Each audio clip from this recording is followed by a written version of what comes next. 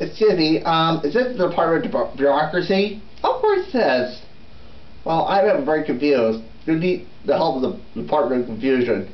No, no, you understand. I'm very confused. I, I have a problem my, with the government. Oh, don't understand. We have plenty of problems here. What's the problem?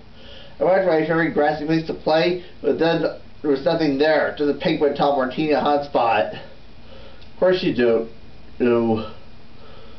You, you, you could drink and spend money. We're kids. We don't drink at the hotel. It's ugly. You, we never know what's gotten you gone. There used to be a lot of trees around here. What happened there? Oh yes, I'm to take you to the Cutting Tree Museum. For a small fee of a dollar, you can visit the wonders of nature. We're very careful with the formaldehyde. Gets very smelly sometimes. There used to be a lot of birds around here. What happened to them? We sprayed the grounds with DDT. There's no bugs, or no birds for that matter. What's the matter? I know, I don't know if ever replace the play. Do what everybody does. Go out and spend money. You boost the American economy. That's not important you buy more stuff.